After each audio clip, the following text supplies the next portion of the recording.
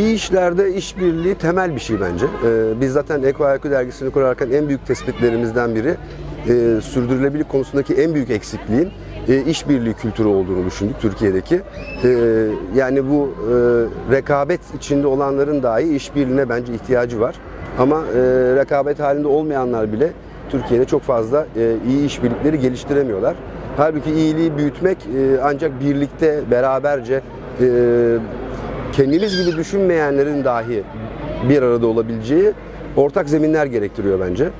Ee, onun için işbirliği bu işte anahtar kavram.